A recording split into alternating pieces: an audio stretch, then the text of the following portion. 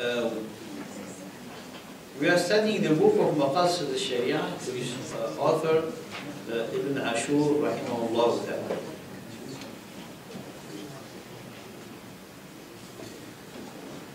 We started the chapter 6, the Prophet's intent of legislation, in page 30. Page 30.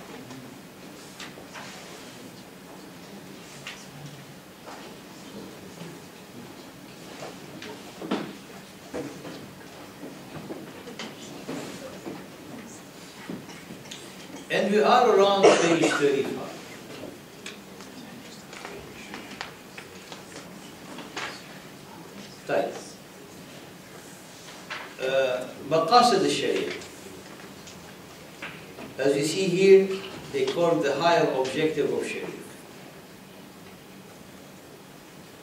Uh, this chapter is talking about a very important uh, method in our uh, deen, in our.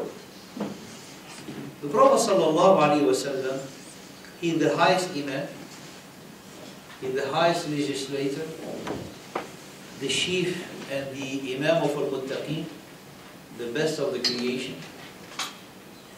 He was the imam in the uh, in the ummah, the imam in the salah, the commander of the army. He was a father. He was a spouse, sallallahu alaihi wasallam. Uh, and all the qualities and the, the, the status that someone, subhanallah, lived, uh, you know, as the Prophet sallallahu someone he will find the, uh, whatever he needs, he finds the Prophet ﷺ finds him as example. When we look at the Sunnah of the Prophet ﷺ, you ask yourself, the Prophet ﷺ, he's a messenger, and he's a servant of Allah, and he's a human being. When the Prophet ﷺ speaks, all what he speaks is the truth. And all what he speaks is inspired by Allah subhanahu wa ta'ala. But when the Prophet speaks, there's a speech that is an order. There's speech that is a recommendation. There's speech that is a sentence. There's speech that is a verdict. There's speech that is instruction. There's speech that is advice. There's speech that is request. There's something he does as imam. There's something that he does as the chief of state. There's something that he does as conveying the message.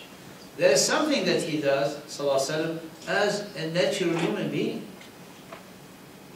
Which one is the same? And this is, subhanAllah, one of the important subjects to understand that the, the way of the Prophet ﷺ is to analyze it, to not take a hadith and jump on extracting uh, rules from it without knowledge, without knowledge. And at the same time, to study all the ways of the Prophet ﷺ to put things where they do belong, which has been one of the most important conclusion here, and we're going to go through some examples that uh, whatever the Prophet ﷺ did as a chief of state, no one else can do it in the Ummah except the chief of state of the Ummah. Mobilizing, for example, a whole army. Someone cannot create an army and he, you know, uh, ask or like, you know, decide of doing things if this person is not the legal chief state of the Ummah. Wow. Someone issue, for example, the Prophet ﷺ, he had issue a sentence in settling a dispute as a judge. You hear the hadith, say no one can uh, issue such a verdict or such sentence only if he's a position to be a judge. Because the Prophet ﷺ, when he said this hadith, he was acting as a judge. If The Prophet ﷺ issued a saying as a commander of an army. Therefore, that statement need to be put in practice, to be implemented by a commander of an army, a legal commander of an army.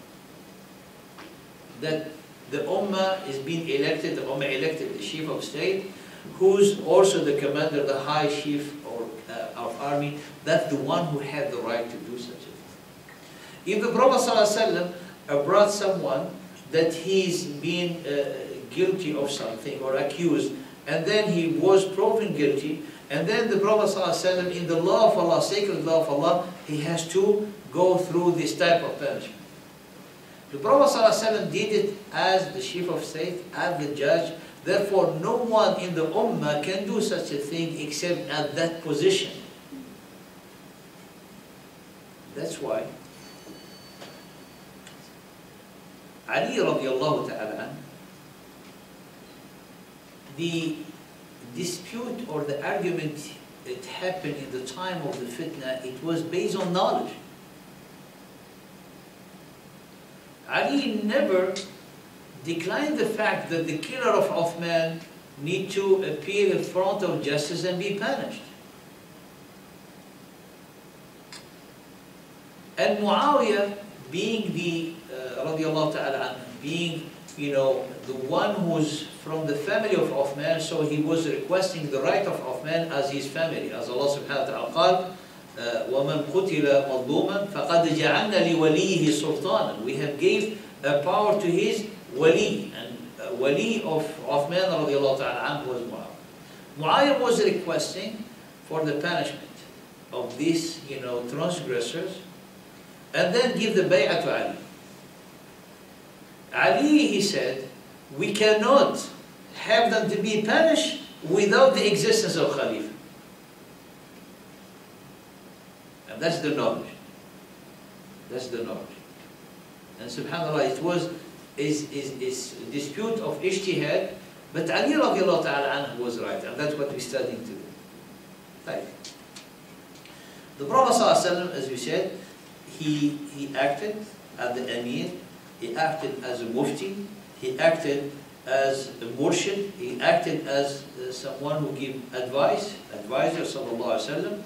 Uh, the most apparent uh, and known uh, or the major part of his uh, uh, way sallallahu alaihi wasallam was in conveying the message, in leading the ummah, in giving fatwa, in being the judge, etc. So these are the most, you know, uh, dominant, uh, uh, you know, behavior in the in the action of the Prophet sallallahu alaihi wasallam.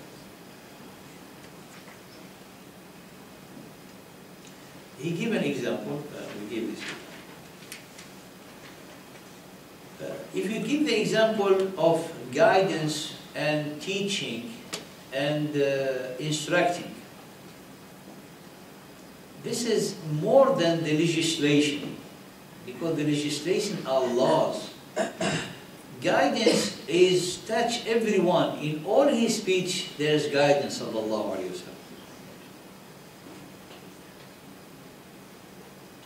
Because the Prophet sallallahu he might, you know, order and he might forbid, but it might be from more, you know, irshad, instruction and advising encouraging, inspiring, and not is a law to follow.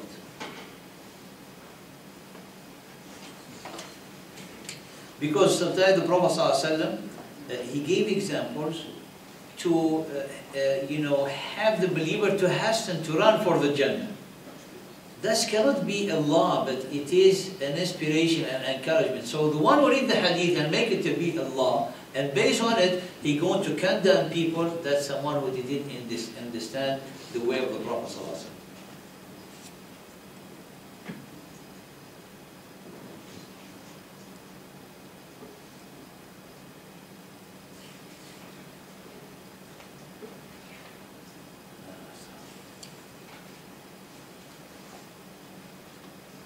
Example here, the Prophet ﷺ قال عبيدكم خولكم the servant that you have, at the time they have servant who's slave. قال خوالكم is like your, your brethren, is like, it's in amana in your hand. جعلهم الله تحت أيديكم. Allah subhanahu wa ta'ala have to make them to be a trust and, uh, in your hand. فمن كان أخوه تحت يده فليطعمه. And whoever is, خوالكم is like your brother. So whoever whose brother is under his uh, trust, he need to uh, feed him. He need to, uh, you know, uh, you know, feed him from what he eats. Not like give him food that's specially made cheap for him. No, whatever he eats, he has to share the food from what he eats. وَيُلْبِسُ مِمَّا يَلْبِسُ And he need to wear and make him to clothe him from where he, he, he himself he wear. وَلَا يُكَلِّفُ مِنَ الْعَمَلِ مَا لَا يُطِيقُ And you should not burden him from an action that he cannot bear. فَإِنْ كَلَّفَهُ فَلْيُعِنْهُ But if he burden him with a task that is hard for him, he should help him. This is an inspiration and encouragement. Which is mean, if someone, for example, eats, has a food, and he eats, and he has a servant that he didn't eat from this food, we're going to tell him it's haram for you to eat that food. You see the hadith, how when you take it from uh, the wrong perspective, قال, but the companion, when they hear the hadith, they knew that is a recommendation, is something, do your ihsan to the one that is entrusted to you. Which is mean, like for example, if someone make a food and he make another food, maybe less expensive, and he offered to his servant, he said, Alhamdulillah, I mean, the servant said, Alhamdulillah, as long as he feeding me. We're not going to tell him, no, it's haram to do such a thing. So this is here the Prophet ﷺ telling you the the best that you can do. And the Prophet ﷺ is encouraging you to do, to raise for the good. Because in Islam, the beauty in Islam, uh, that they have this basic level, which is, we call it realism, and there's the high level, we call it the idealism. Allah subhanahu wa ta'ala make everything to be in a very realistic way, so everyone can bear. Fire prayer, you can do it. If you are sick, you can do it uh, even laying down. We studied in fiqh. Make an extra prayer, even two rak'ah extra. That is recommended, it's not an obligation. And the Prophet ﷺ encouraged us, he said, if you do 12 rak'ah in the day, Allah subhanahu wa ta'ala will give you like plenty of reward and things and will have Jannah. But if someone will not do 12 rak'ah, is he going to go to hellfire? So here, the 12 rak'ah is a recommendation to hasten to do good. And not an obligation, without it you're going to be punished. See the difference? So idealism is to, to run, to race for the good. And all the Sharia is in this way. So we need to make the difference, which is the basic, which is an obligation, the foundation, and which is what is the Prophet ﷺ inspiring us, encourage us to do more and more. So that part of the inspiration is recommended, not obligation. The foundation is obligation. And then we need to, in the speech of the Prophet to differentiate between both speech. قال قال الراوي the narrator of the hadith about the servant قال لقيت أبا ذر وغلاما له وعلى غلامه حلة Abu Dhar, he has a knife, you know, cloth, and his servant, he had the same one. فقلت لأبي ذر ما هذا? I mean, you're spoiling your servant. فقال تعالى أحدثك. He told him, come, I will tell you. إني ساببت عبدا لي فعيرته بأمه I had a servant and I insulted him with his mother. Told him, you know, said about his mother. فشكاني إلى رسول الله. He went, he complained to the Prophet صلى الله عليه وسلم. فقال رسول الله The Prophet ﷺ, قال أعيرته بأمه يا أبا بكر Did you insult him? And talk wrong thing about his mother? He said, قلت نعم. قال إنك امرؤ فيه جاهلية. You are a man who still has ignorance in you. عبيدكم خوالكم and he said this hadith. Since that day, Abu Dhar, he treating his servant like a prince. It's like almost Abu Dhar serving his servant. So this is recommendation. This is to aspire to do the best, the ihsan. Uh, the Prophet ﷺ acted also in a way of settling a dispute between people, making peace between groups. Uh, and when he make peace between groups, it doesn't mean that he's given orders. Uh, example, uh, there, there were a dispute, there was a dispute between Az-Zubayr and Humayd al-Ansar.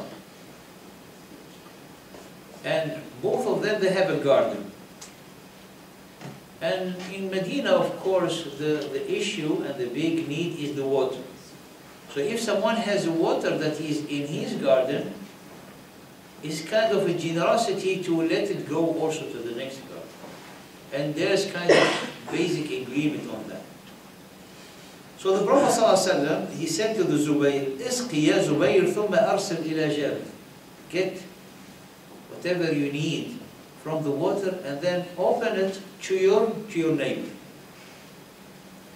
فلما غضب حميد الأنصاري حميد الأنصاري he wasn't you know uh, very happy with with the Zubayr so he got mad قال رسول الله للزبير اسقي ثم احبس حتى يبلغ الماء الجدر Then the Prophet ﷺ said then, because Humayd al-Ansari didn't behave well with the Zubayr, he said then, uh, water all your need, all your plants, and then keep the water till he get to the level needed, and then you pass it to him.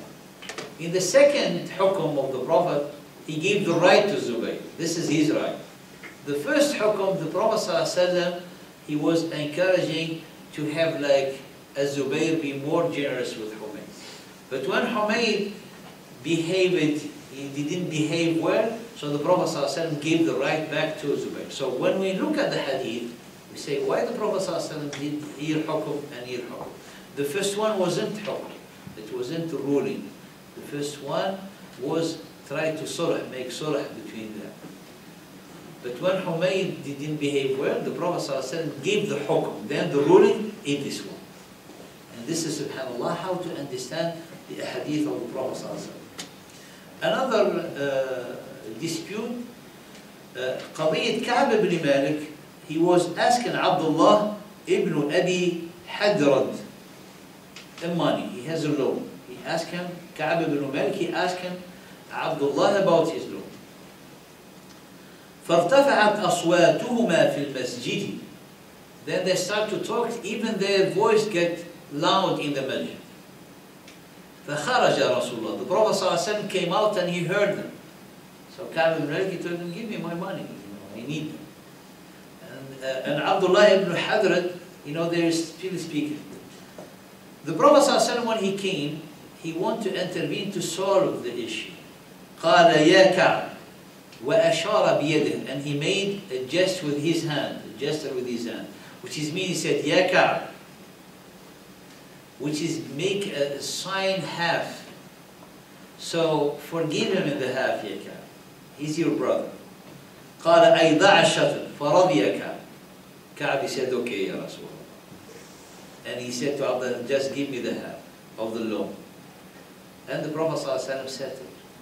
Now, when you uh, uh, borrow money to, uh, you know, someone, you give someone money, you know, and then you say, you know, I, I give you a thousand dollars and this is the end of the month, I need the money. He said, the, the sunnah is to get only five hundred dollars.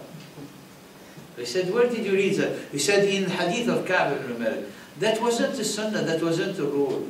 That the Prophet ﷺ, he acted in making peace. You see the difference? Because if someone is, everyone who gonna give uh, the loan and he knows by the sunnah he gonna give half, so nobody gonna loan any one of his brother or any sister for his sister. And this is the understanding of the hadith. This is how subtle is the, uh, the analysis of the hadith of the Prophet in helping us extracting the law or the sacred law of the Sharia. Uh, there's other example that you can read, mashallah, into the book. Uh, I will uh, recommend you to read them. Uh, I'll read the example of Barira. I'll read the example of Barira, which is in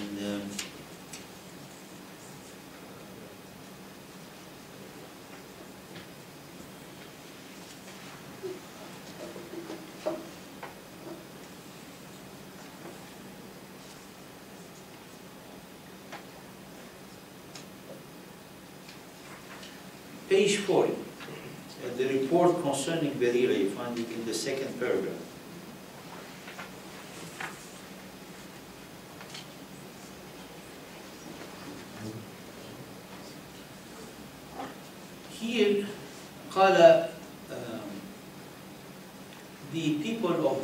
They want to, to you know, to, uh, to give Barira away, to sell Barira. She was a slave. And Aisha, she wanted Barira. She loved it. And her family, her family, they requested, they put a condition, al-wala, al-wala. Al-wala'u is kind of uh, relation, family, tie.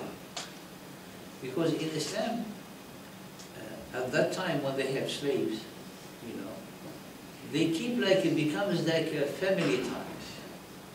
So if this slave becomes free, they keep family ties with his, the family that he was with. If the, uh, this servant, he will pass away, and he doesn't have family, who inherit him is his family that they used to live with. This is, we call it wala. But the wala is really who had the right to the wala. He's the one who gave the freedom to this slave. So they said to Aisha, yes, we'll do so, but we keep the right of the wala. And this is unjust. Because Aisha, she's going to free her. How can you, you keep the right of the wala? So when she asked the Prophet ﷺ guidance, فقال لا عليك أن تشترطي لهم الولد. You don't even have to get to tackle this issue. Let them say whatever they say. خذيها واشترطي لهم الولد فإنما الولاء لمن أعتق because the wala is the right of the was the one who free. Then the Prophet ﷺ he gave a speech and he said قال أقوام ما بال أقوام يشترطون شروطا ليست في كتاب الله because the Prophet ﷺ this is uh, caused a confusion among some scholars because how come the Prophet ﷺ tell them give them what they ask for and he tell them tell her to not regard it after when he told her give her what he asked for it wasn't an order it was a recommendation which is mean yeah Aisha whatever condition you're going to say or to accept only what will work is what is in the book of Allah. If they tell you we have the condition of wala and you accept to give them the wala, is not your right and that is not their right. Because the condition is according to the book of Allah. That's the meaning of it. Because some of the scholars they said, and people, you know, people who you know against Islam say, look in this hadith, the Prophet ﷺ asked her to tell them okay, and then he came and he said no. It's like the Prophet was doubting and he said to, to his wife, Umm al-Mu'mineen, yes, and then his power, he took it away. It wasn't that. Because his speech is very clear. He said, why people are putting condition doesn't belong to the Allah. Condition, they don't belong to the group of. Well, so this is one of the examples that to see that whatever you read in the hadith is not always what we understand unless we go farther to see what type of the speech that the Prophet ﷺ was addressing at that time. is instruction, is intercession, it is commanding, it is ordering, it is uh, advising, etc.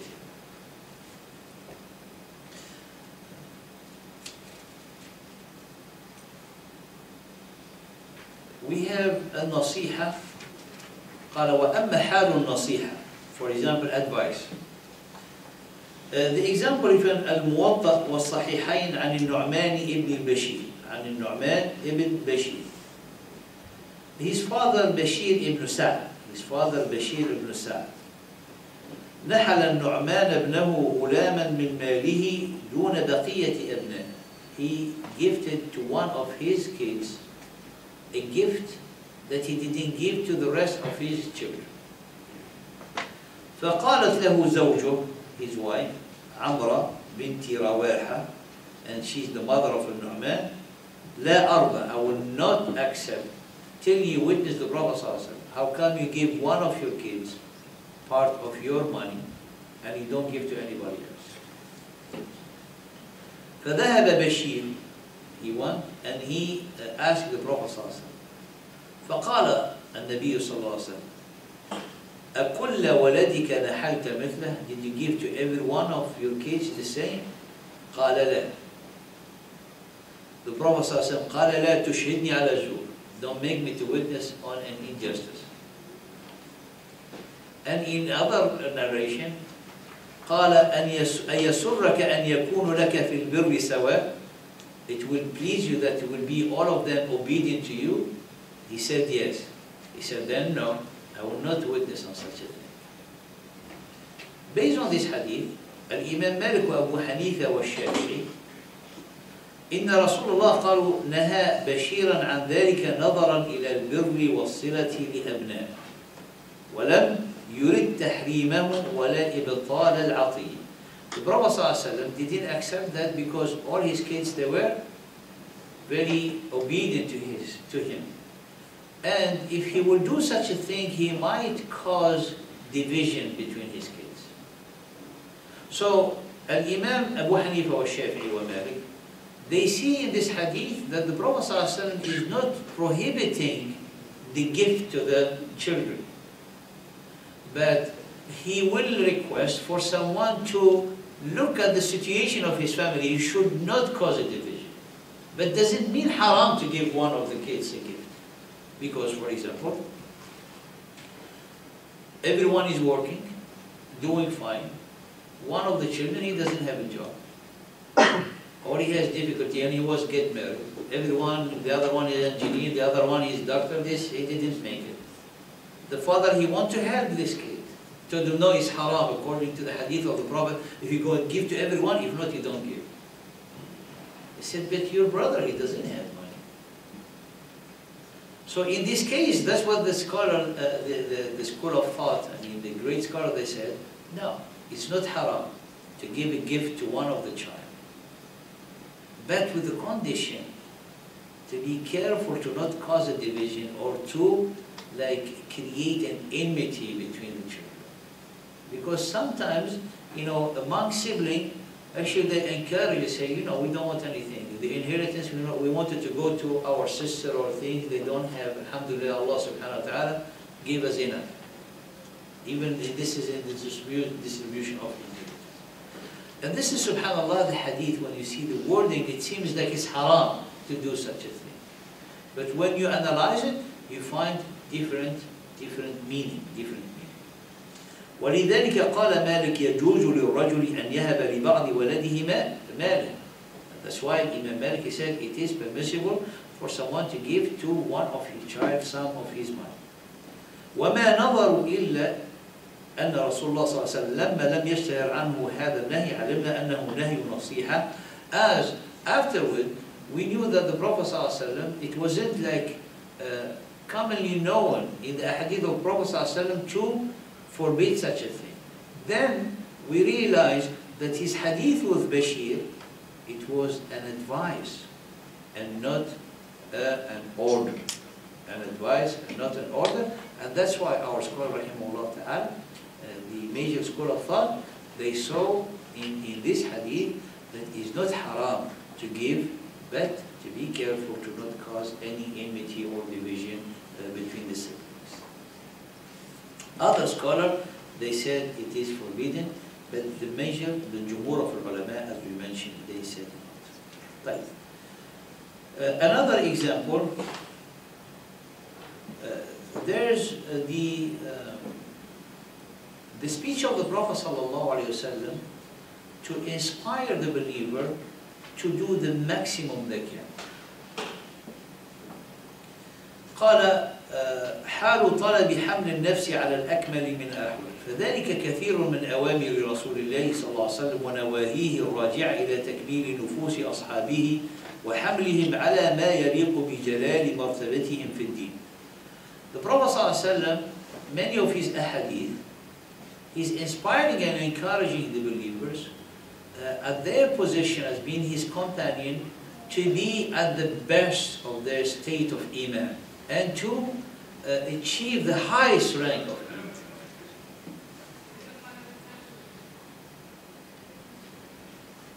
And this is uh, in many of the hadith of the Prophet ﷺ.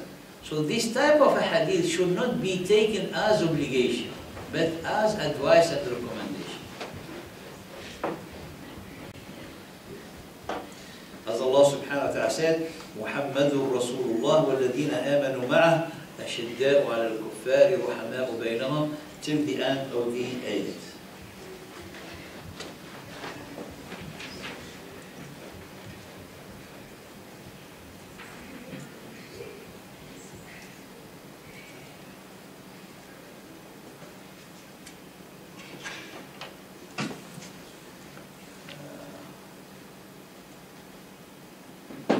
Other thing uh, that the Prophet sallallahu alaihi wasallam uh, asked his ummah to do, but we know it's not an obligation, but it's a recommendation to do. Three minutes. For example, in, the book of Al-Libas, clothing and wearing, from Sahih al-Bukhari, عن البراء بن عازب عن البراء بن عازب قال أمرنا رسول الله صلى الله عليه وسلم بسبع ونهانا عن سبع. The Prophet صلى الله عليه وسلم ordered us to do seven things and he prohibited us to not do seven things. أمرنا, he asked, he ordered us بعيادة المريض واتباع الجنائز وتشميت العاطس وإبرار المقسم ونصر المظلوم وإفشاء السلام وإجابة الداعي.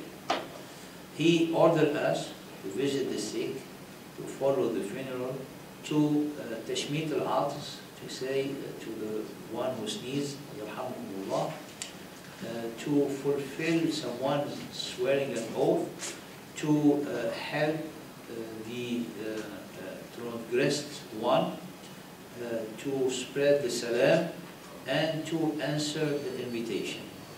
And he forbidden us to wear the uh, gold and to use the pots and utensil out of uh, silver uh, وعن المياثر الحمر والقصية والاستبرخ والديباج والحرير and to not wear that you know flowery things and uh, silk and all of that is like modesty okay فجمع مأمورات ومنهيات مختلفة so in the hadith there's a lot of uh, commanding things and not of forbidden ones some of them are known to be uh, obligation and others are not and some of them are muharrama, really forbidden haram, and others they're not. For example, مثل الشرب في آنية الفضة, to drink in a pot or a glass of silver is not haram, but is disliked. Uh, to not say to someone, يرحمكم الله, it's not a sin, but is a recommend. You see? So these are, you know, put together, but also to specify them, to analyze them, and to put them everyone in its uh, category to know it is haram or halal, mustahab or not. ويشهد لهذا آه، قال ما رواه أبو داود عن علي بن أبي طالب أنه قال نهى رسول الله صلى الله عليه وسلم عن لبس القصي وعن لبس المعصفر وعن تختم الذهب وعن القراءة في الركوع والسجود ولا أقول نهاكم He said the Prophet ﷺ prohibited to wear qasi, things like, uh, uh, you know, uh, type of clothing that is forbidden is either color or out of silk. Well, mu'asfar is like it has that yellow uh, kind of, mostly at that time women they wear. Uh, and to put the, the dahab, you know, to wear rings of uh, out of gold, and to recite Quran in ruku or sujood. And then he said, قال ولا أقول نهاكم. He said, but I specify, I'm not saying you prohibited you, which is mean all what he mentioned are makruh. So if someone will do it, it's not like haram that he gonna be punished. You see, قال نهاكم, and then Ali in the end of the hadith قال ولا أقول نهاكم. Don't, I mean نهاكم is like, you know, it's haram. Uh, we'll stop here in the back. And we'll give you the break and we'll meet you after after Maghrib, inshallah.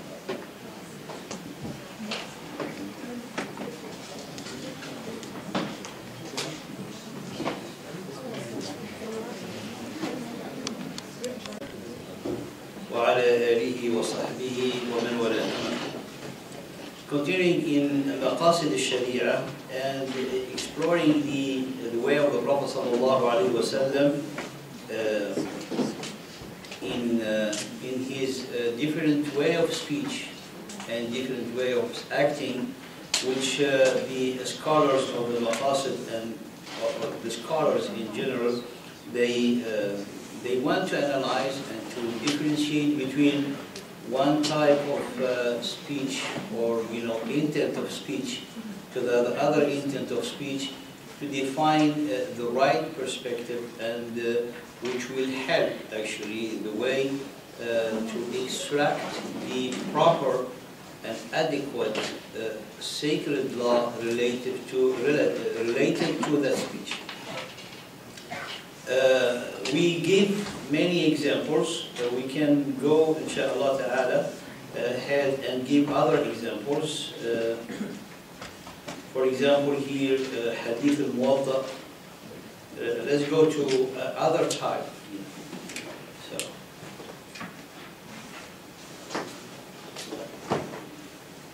Here قال uh, there's حال uh, تعليم الحقائق العالية there's a way when the Prophet ﷺ he's teaching his companion some of the highest virtue and values. Uh, the highest virtue and va- uh, virtues and values, as we said earlier, there's the foundation, they are the basic, and these are in reality uh, the what is an obligation. And then we have the level of uh, what is uh, idealism. You know, the idealism in Islam is to raise for the good, to do in the best of your capacity of uh, doing the good. So, uh, for example, we give an example for Salat and Nawafil. Someone has been, you know, uh, for example, someone, uh, one of his uh, one of his, you know, family was killed. In Islam, the power, let's say, of, uh, of deciding of the sentence is, goes back to the family. So the family, they've been given the right. They say soul for soul. But they can have reward higher if they forgive and be patient. So Islam doesn't tell you no forgive. You don't know, this is your right to ask for this. And if you do it, this is your right. No one blame you, actually it's your right. But if you forgive, that's greater in the rank of the price. قال وإن عاقبتم فعاقبوا بمثل ما عوقبتم به ولئن صبرتم لهو خير للصابرين if you go to punish, punish exactly the same, uh, the way you be punished. You know, eye for eye, soul for soul, as Allah subhanahu But if you be patient and forgive, that will be better. So Allah subhanahu wa ta'ala give you the level that it is your right. People, you know, they lost it here, they cannot forgive. So you cannot force them to do something that they cannot bear. You give them, this is your right, but there's another level that you can get to it. This one is to be realistic. The other one is to raise for a higher race. So here the Prophet ﷺ, when he commanded his companion with high rank uh, action, you don't read the hadith and you make it to be like an obligation on you. That's when you hear the hadith. That's, you know, you consult the scholars, is this an obligation or is it a recommendation? Now, here hadith قال ما روى أبو ذر قال قال لي خليل he said, he said my dear close friend Khalil the one I love the most he, he, meant, he meant the Prophet صلى الله عليه وسلم يا أبا ذر أتبصر أحدا he said يا أبا ذر do you, can you see أحد the mountain نعم قال ما أحب أن لي مثل أحد ذهبا أنفقه كل كله إلا ثلاثة دنانير Abu, Abu Dhar, he said, he heard saying the hadith, he said, the Prophet said to him, do you see Uhud? He said, yes, Ya Rasulullah. He said, I will not be pleased if I will have the whole mountain of Uhud, all of it gold, that if in the narration of the other hadith, which is very clear, that three days will pass without giving all of it, except three dinars stays, like three, like you say, few dollars, just to give them here and there. What it mean? That in this hadith, the Prophet said, if I have the whole mountain of Uhud in gold, I will give it sadaqah. That's the meaning. Abu Dhar, Abu Dhar, when he heard this, he felt that it's like a command from the Prophet an order. Whatever you have money, you have to give it to him. فظن أبو ذر أن هذا أمر عام للأمة فجعل ينهى عن اكتناز المال وقد أنكر عليه عثمان رضي الله تعالى عنه قول ذلك كما سيأتي So he started to blame everyone who's accumulating money. To the point that Umar, uh, Uthman radiallahu ta'ala anhu was Khalifa, he stopped him, told him, stop doing this.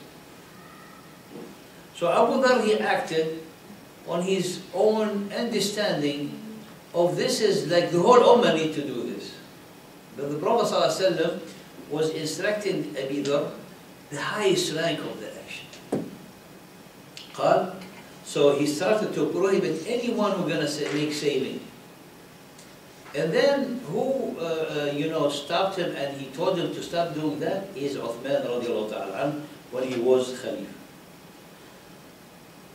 التأديب التأديب correcting correcting قال it's here the author قال فينبغي إجادة النظر فيه we need to be very careful in examining this action from the Prophet صلى الله عليه وسلم لذا قال لأن ذلك حال قد تحف به المبالغة لقصد التهديد because that's when the Prophet صلى الله عليه وسلم want to correct some people he might use terms, threatening terms, to have, you know, like uh, emphasize this very important uh, uh, aspect.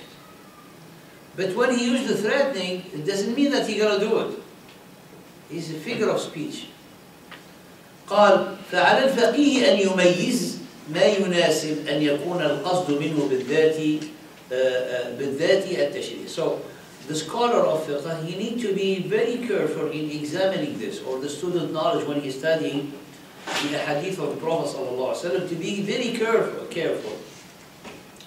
Why? Because he need to know what is meant to behind the hadith, the wisdom behind the hadith, especially when it comes to legislation, when it comes to issuing sacred law.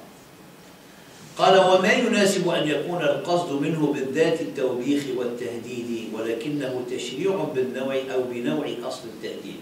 So, when the Prophet used some terms, we need to reflect and go back to the, to the root of the hadith and to the root of the type of speech. So when we know that the Prophet he wants to reprimand or to correct something, to not be done again. It's like, for example, you take someone, child, you know, did something wrong. You told them, next time if you do it, I'll do this, do this and this. But the parents, they didn't intend to do all of that. But it was tawbih, you know. Tawbih in a way like reprimand to the fact that that person will never come back to such a thing. If we don't understand this, then we'll have a problem of the interpretation of the hadith. I'm going to give you an example you want to understand. إن الموطأ عن صحيح البخاري ومسلم عن أبي هريرة رضي الله تعالى عنه أن رسول الله صلى الله عليه وسلم قال والذي نفسي بيده لقد هممت أن آمر بحطب فيخطر ثم آمر بالصلاة فيؤذن لها فيؤذن لها He said, the Prophet said, by the one who ordered my soul, I was going to ask to gather a lot of wood, uh, wood فيحطر, and then to be lit, a big fire. And then I will ask for the salah to ask to make the adhan of the salah. ثم آمر رجلا فيؤم الناس and then I will ask one of the men, one of the companions to lead the prayer. ثم أخالف إلى رجال فأحرق عليهم بيوتهم then I will go see those who didn't come to the masjid to burn their houses. وَالَّذِي نَفْسِي بِيَدِهِ to the end of the hadith. If you read this hadith, did the Prophet ﷺ truly intend to burn the house of the believers?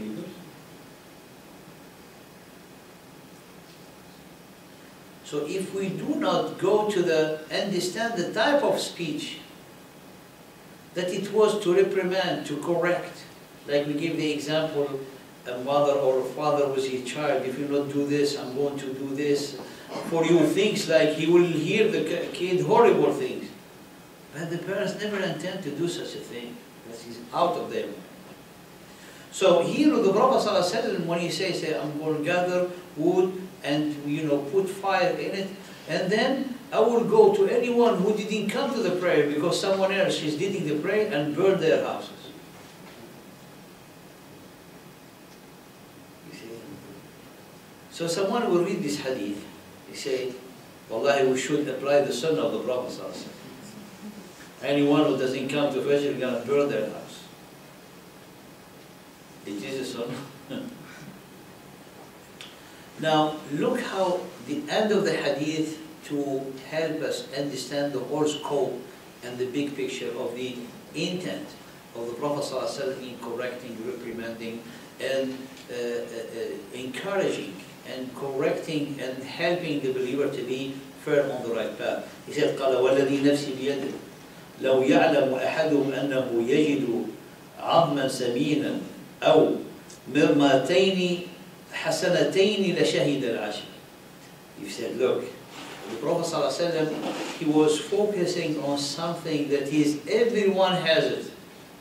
He said, by Allah, to show you that what he was saying is only reprimanding them. He said, if one of them, he knows there's, there's you know, at the masjid, good meat, or some sauce and food ready, he would have come. So if it was an invitation for food, he come. An invitation for forgiveness, he will not come. So this is the speech to see, subhanAllah, the way how to, to, to instruct, uh, to, to correct, uh, to advise with the way of uh, reprimanding, uh, admonition, but is not to take literally what is being said. So that's why when we know the nature of the speech, will help you to understand and make the right interpretation of the hadith. And therefore, uh, if you think of the situation that we have in the world of today and everything, and those, subhanAllah, who deviate fully from the path, even though they believe that they are, you know, uh, you know, true and uh, deep believers, they don't, they didn't study such a thing. Actually, maybe they never read a book of hadith. They heard, you know, this, you need to do this to the kuffar things, just run and do whatever they want to do. Uh, but to tell you that injustice starts with ignorance. And uh, justice is essence is light, and the light resides in knowledge. Alhamdulillah, may Allah subhanahu wa ta'ala to enlighten our. قال فلا يشتبه أن رسول الله صلى الله عليه وسلم ما كان ليحرق بيوت المسلمين لأجل شهود صلاة العشاء في الجامع. It was very clear for everyone to read this hadith that the Prophet ﷺ was never intended to do such a thing, to not come to al-Jama'ah. When Salat al-Jama'ah is recommended. That's why some of the scholars, based on this hadith, make attending the Jama'ah as an obligation. That according to the Jumhur is recommended. Because if it was an obligation, then praying at home would not have been accepted. ولكن الكلام سيق مساق التهويل في التأديب أو أن الله أطلع على أن أولئك من المنافقين وأذن له بإتلافهم إن شاء. This is need to be seen from you know how to to to use a type of correcting with with the speech of threatening speech to lead people to to really uh, you know be corrected. When you threaten them, they get corrected, but as a figure of speech. And he's saying also, it might that Allah subhanahu wa ta'ala revealed to him that those are actually munafiqin. Also, حديث في صحيح البخاري عن أبي شريح قال رسول الله صلى الله عليه وسلم والله لا يؤمن والله لا يؤمن by Allah cannot be a believer by Allah cannot be a believer فقلنا ومن هو يا رسول الله Who is this person? قال من لا يأمن جاره بوائقه The one that he will not be feel safe or not bothered by his neighbor. So if someone he's bothering his neighbor, in this hadith he's not a believer. But here is the same thing, is an admonition, is reprimanding. It doesn't mean that someone uh, he's, you know, uh, act ill toward his neighbor, he become a disbeliever. So in this, I mean, he, he going to be sinful, he gonna lack in the, you know, in, in the high level of belief, but he doesn't mean like you. It's like, for example, uh, لا يؤمن أحدكم. No one among you is a believer if he doesn't honor his guest. So if someone didn't honor his guest, he becomes a kafir? No. So the Prophet is part to encourage with this type of speech, this type of, you know, uh, way or style to incite people to do and to, to make them uh, do what is right.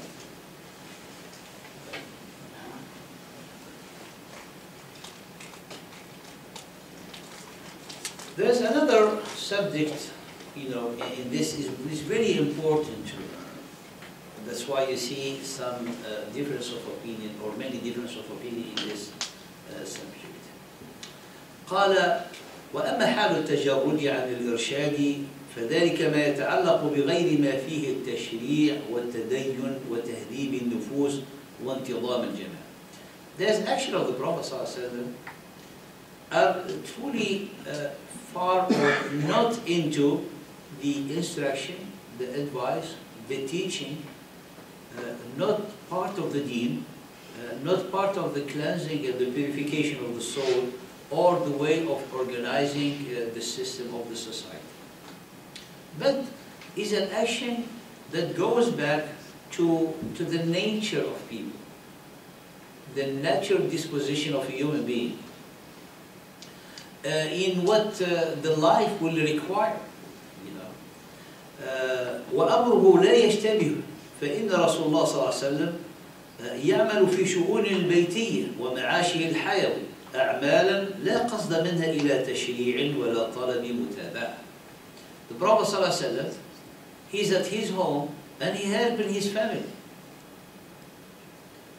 He's sowing here, he helping here, he does some action but this action is not intended for this action to be a subject of a religious subject or to be a way of a sunnah to be followed. Because this is from the natural disposition of a human being. The Prophet ﷺ, he has also jibillah, like we have, the nature that every human being he has. قال قد تقرر في أصول الفقه أن ما كان جبليا من أفعال رسول الله صلى الله عليه وسلم لا يكون موضوعا لمطالبة الأمة بفعل مثله. And among the scholars of أصول الفقه, uh, it is known and it is as a result of their analysis.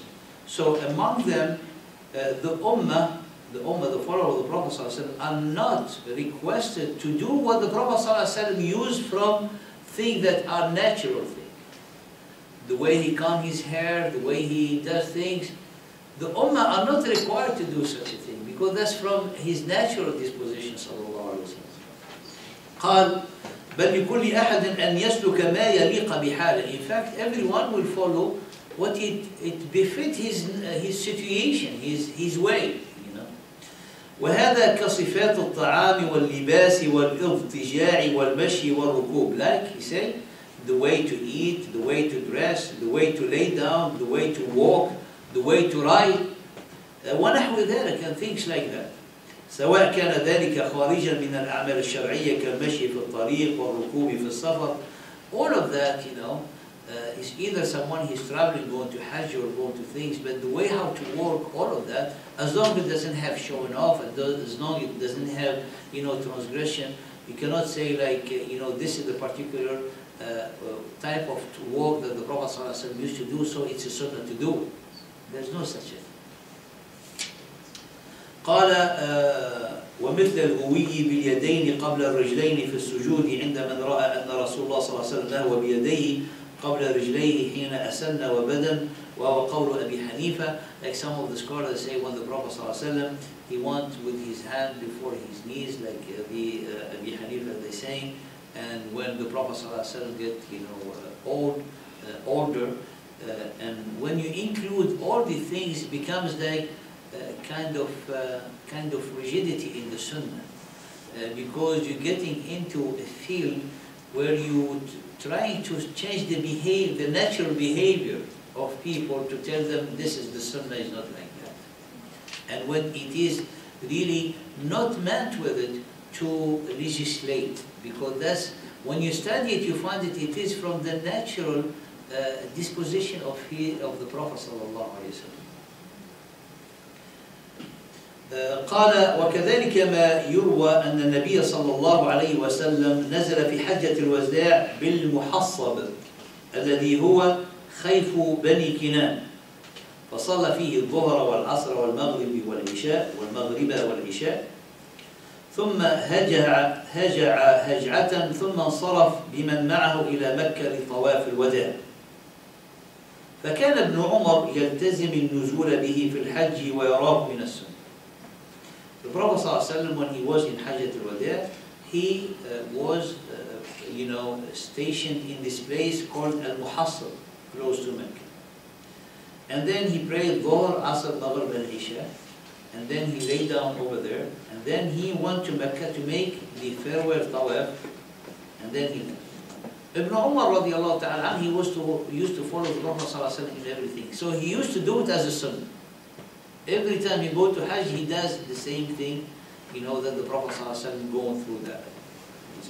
قال ويفعل كما فعل النبي صلى الله عليه وسلم. But if someone today making going to Hajj, he said the sunnah is to go to this place and pray Dhuhr and Asr, uh, Maghrib and Isha here, and then, let's say for example, if you're going to make Tawaf al-Wada'i, the sunnah is to do this before. No, it was this natural thing. The Prophet ﷺ was doing it in his journey. It doesn't mean that the Ummah, they have to follow that. The other, they were manasik. The manasik, he specified them, he showed them, sallallahu alaihi wasallam. But this is, there were things like natural. So whatever place you go from or path, you're going to make your uh, tawaf or wada' you're not required to do such a thing as being, you know, sunnah uh, of the Prophet sallallahu alaihi wasallam. وفي صحيح البخاري عن عائشة أنها قالت ليس التحصب بشيء إنما هو منزل نزله رسول الله صلى الله عليه وسلم Aisha radiallahu ta'ala anha, she was com commenting on such a thing. She said, At-tahassubu, which is to go to that particular place. He said, it is nothing. It's not the sunnah. It's not part of the, of the tashri'ah. It's not a ritual to do. قالت ليست بشيء إنما هو منزل نزل It's only a place that the Prophet ﷺ camped in it. So not because he stayed in the place, that place becomes, you know, it's sunnah to go. And this is very uh, subtle in the way of the Sharia. قال ليكون أسمح لخروجه Actually, the Prophet ﷺ did that because it was it's going to be easier for him to, to start his travel back to Medina.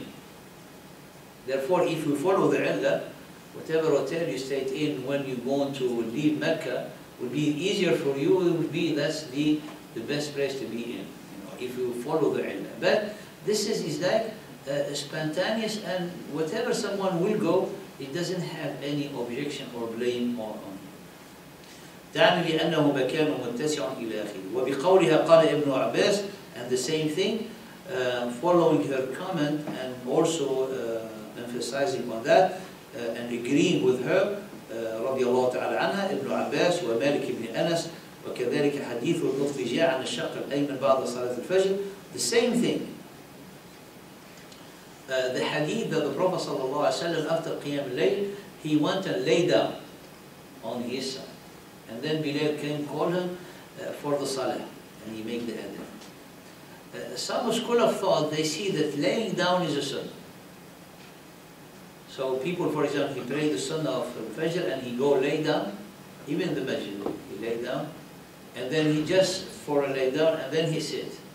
If you ask me, say this is the sunnah of the Prophet of course, some of the scholars, they said, Alhamdulillah, I mean, if you do it because you love the Prophet may Allah reward everyone who does. But in the same time, we cannot, you know, uh, force it as a being a sunnah. That's why we say this study to help, you know, analyze every part of the action of the Prophet and to link it with its source. So this is, you know, the scholars, especially of Usul Fiqh, they're saying this is part of the natural disposition of the Prophet he was making qiyam, long qiyam al and he prayed Sunnat al-Fajr while waiting for Bilal to make the adhan, or to call him, or to go to the prayer, he lay down, sallallahu alaihi on his side.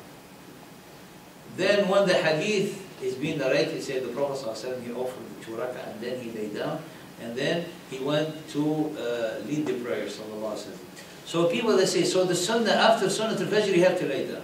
So people that come make the sunnah, and after sunnah, he like lay down on the, uh, on the ground, and then he said, he said that was the sunnah. He said, actually it was that's natural. If you are tired, do it, but if you are not tired, it was like the natural disposition of the Prophet ﷺ. Therefore, we should not classify it among the sunnah uh, as being things to follow the Prophet ﷺ. في حديث يوم بدر أن رسول الله صلى الله عليه وسلم سبق قريشا إلى الماء حتى جاء أدنى ماء بدر فنزل به الجيش حتى جاء أدنى ماء من بدر فنزل به الجيش. فقال له الحباب بن المنذر يا رسول الله أمنزلا أنزلك أنزلكها الله؟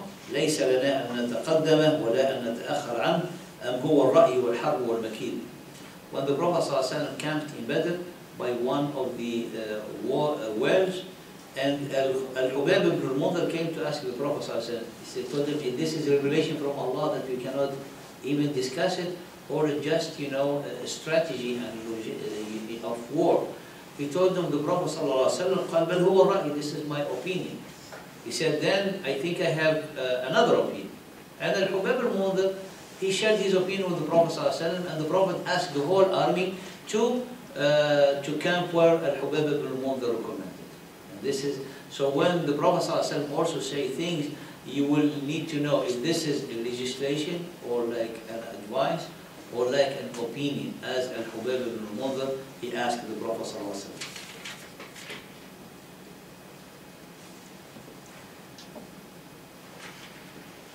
As a conclusion here, uh, for this chapter, قال فلا بد للفقيه من استقراء الأحوال وتوسم القرائن الحافة بالتصرفات النبوية. It is a necessity and upon the scholar to uh, study and examine uh, carefully all the circumstances around the event, around the action of the Prophet ﷺ, around his statement, and to link them with their source, and to link them with their nature, and to link them with their circumstances, which is, this is, will help, you know, to give and to reach the right interpretation. آه، قال فمن قرائن التشريع الاهتمام بإبلاغ النبي صلى الله عليه وسلم آه، إلى العام والحرص على العمل به because one of the fundamental uh, way in the legislation is to convey to the ummah the way of the Prophet sallallahu alaihi wasallam. so to convey the way of the Prophet wasallam, you need to, for the scholar to make their uh, real, you know, study and analysis. So when they convey, they convey the ummah uh, the true way of the great role model sallallahu to help them implement the deen, but not in a way to make it rigid on them or to get into path where it's really it might you know lead to uh, someone to uh, to violate or to deviate. Uh, there's other example. Please read them uh, in the chapter that we mentioned. And,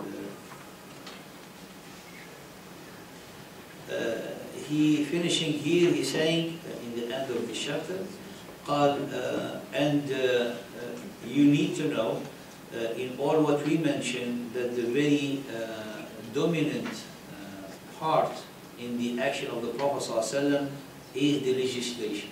That he's, uh, you know, making the sacred law of the Prophet ﷺ. Uh, لأن التشريع هو المراد الأول لله تعالى من بعثه. Why? Because the tashri' making the law uh, is the first, uh, you know, uh, priority that Allah subhanahu wa ta'ala sent His Prophet sallallahu alayhi wa sallam for. and Allah subhanahu wa ta'ala mentioned uh, and he defined the mission of the Prophet sallallahu alaihi wasallam illa rasul. He is a messenger to convey the law of Allah subhanahu wa ta'ala and his way. Therefore, uh, it is upon the Ummah and mainly the scholar to take anything that came out from the Prophet from action and saying uh, فيما هو من عوامل أحوال الأمة صادر المصدر التشريع ما لم تقم قرينة على خلاف ذلك. Anything that being said or acted by the Prophet need to be seen as legislation from the Prophet ﷺ unless we have evidence that is not, like what we have studied. But the first thing, everything from the Prophet, it is to follow. And then we examine, maybe it's not as we said, for example, maybe that's from his natural disposition, okay, we can put this on the side. Maybe this is an advice, it's not a command, okay, we put classify it on the advice, etc. But we have to take everything from the Prophet at his highest level as to follow, and then we examine. This is what he said right وقد أجمع العلماء على الأخذ بخبر سعد بن ابن أبي وقاص حيث سأل النبي صلى الله عليه وسلم أن يوصي في ماله قال له الثلث والثلث كثير فجعلوا الوصية بالزائد على الثلث مردودة إلا أن يجيزها الورث and the consensus between the scholars when the Prophet uh, Sa'd ibn Abi Waqqas asked the Prophet ﷺ about a will you know, to, to give part of his inheritance as a will uh, before to be uh, distributed between the inheritance, Prophet ﷺ said the third, and the third is already too much. So the scholar, they make the will to be de definitive or limited to the third. So here, uh, to be saying everything the Prophet said need to be followed, and then examine two classification category should be followed. ولم يحملوه محل الإشارة والنصيحة مع ما قارنه مما يسمح بذلك and they didn't take this hadith as you know instruction or advice but all the scholars they took it as is because they want to take you know a path in into the law of inheritance uh, and then the Prophet ﷺ قال إنك أن تدع ورثتك أغنياء خير من أن تدعهم عالى يتكففون عن الناس one of the wisdom that it's better to leave your money, enough money for your inheritors, than they you let them to beg people. If you have money, it's better to keep it to your inheritance. And if you want to give a will, maximum is the third. So this is the wisdom in it. So the scholars, they take it as an order from the Prophet sallallahu alaihi wasallam. Uh, إلى آخره, uh, and then he mentioned some of the other uh, opinion of the scholar. مقاصد الشريعة the next chapter that we're going to study uh, next week بإذن الله تعالى um, قال مقاصد الشريعة was here.